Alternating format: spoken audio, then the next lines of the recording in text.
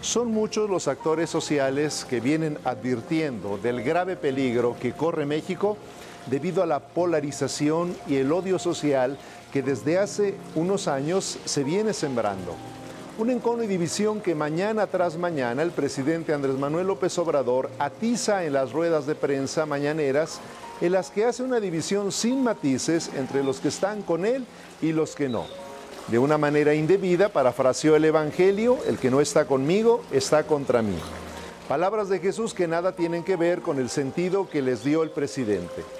Si bien el Ejecutivo fue elegido por 30 millones de mexicanos, no debe olvidar que el país tiene más de 120 millones y que en una sociedad democrática no solo es legítimo disentir, sino que es indispensable la oposición para crear equilibrios y evitar la concentración de poder que lleva a la tiranía y la corrupción, que no solo es material, sino también moral, siendo esta última la más grave y peligrosa. Varias personas se han acercado a mí pidiendo consejo espiritual, pues experimentan culpa al no soportar más al presidente, tener hacia él odio o incluso desear y pedir a Dios su muerte. Por supuesto que estos sentimientos y deseos no son cristianos. Cito el Evangelio. Han oído que se dijo, ama a tu prójimo y odia a tu enemigo. Yo en cambio les digo, amen a sus enemigos, hagan el bien a los que los odian y rueguen por los que los calumnian y persiguen. El odio, el resentimiento, en primer lugar, daña a la persona que lo siente, la destruye interiormente, le quita la paz y obstruye la relación con Dios. No es lícito desear la muerte de nadie, ni siquiera de los criminales.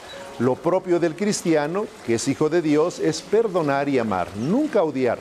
Lo único que nos es lícito es odiar el pecado, pero nunca al que lo comete, ni desear su muerte, porque no olvidemos, Dios no quiere la muerte del pecador, sino que se convierta y viva.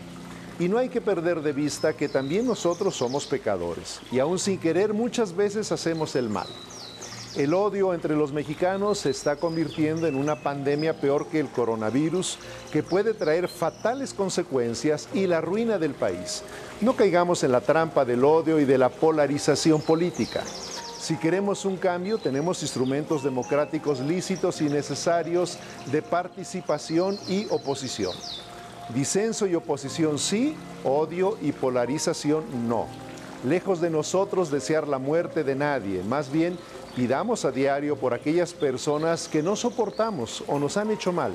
Y Dios nos dará la capacidad de perdonar, de ser tolerantes y, ¿por qué no? Él, por nuestra intercesión, puede dar el don de la conversión a quien más lo necesita.